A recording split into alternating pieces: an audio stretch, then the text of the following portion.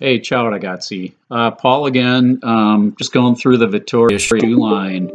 Um, if you're going to sell one shoe to your customer, if you want to own one shoe that does it all, this is the shoe, the, the Tierra. So um, retails for $199. As you can see, this is a beautiful uh, purple color. Um, it's sort of, you know, it's like oil slick, so it changes uh, hue as you uh, move around in the light. So very cool shoe. This is a really called a gravel shoe, but you could use this for anything, road riding, mountain biking, cyclocross. Um, it's just really a cool, versatile shoe. You can tell it's a lace-up shoe, so some people really like that. Others prefer the BOA or strap system, but um, this one is uh, lace shoes. So um, this was new last year. Again, they're all made in Italy.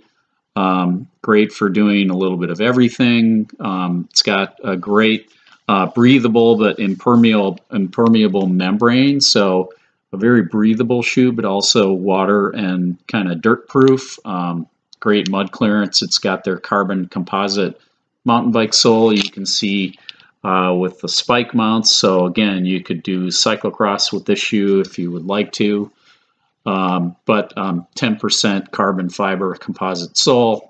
um, so, um, oh, one other cool feature is it's got a vulcanized um, toe cap on it. That's also very cool and makes it a great cyclocross or mountain bike shoe anytime you're going to hike in this thing as well. So, again, this is the um, photosensitive uh, oil slick color, also comes in black.